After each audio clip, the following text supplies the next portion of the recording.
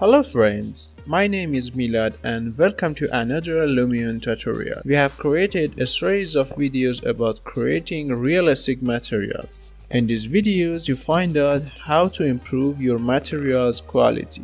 In this video, I'm gonna show you how to make the concrete material that looks more realistic.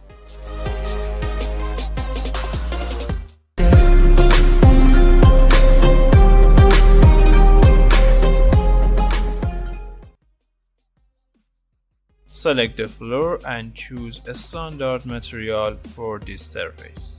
The concrete we need here must have a polished look with a little holes on the surface.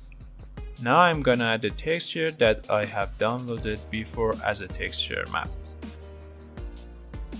Now you can see the high quality texture applied on the surface and now you can see the high quality texture applied on the surface and now we see more details in the materials. As the same way, I added the normal map that I have downloaded.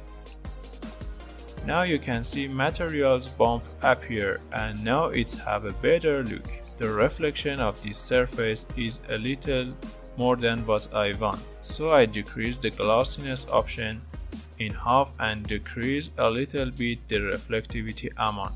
The material size is good and it doesn't need any change. I think I have to decrease the glossiness and reflection of material once again in order to make it looks more real.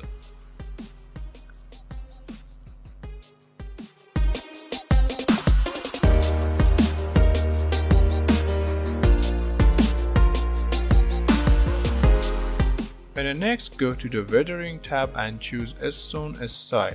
Now increase the amount of this effect to 0.1. This cause the edges and bumps be more obvious. Let's zoom into the texture and check it. The relief option amount is okay and doesn't need to change. Okay, as you see our material have the polished look and holes and bumps are appear on the surface.